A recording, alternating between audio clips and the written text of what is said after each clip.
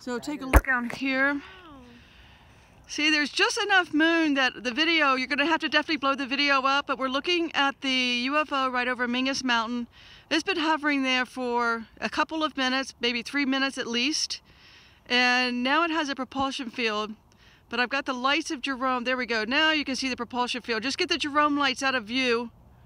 And look at that propulsion field. That's fantastic.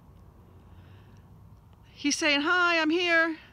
That's what they mean by I mean, talk about contact. yeah. We've had pretty much UFO sightings back to back since we got out of the car.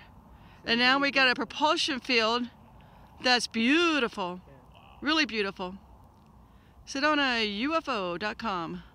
Look at that. Isn't it awesome, guys? Yeah. That's way cool. He just appeared. It's moving. And he's been there, uh, at this point, he's been there five minutes. Same place. Nice.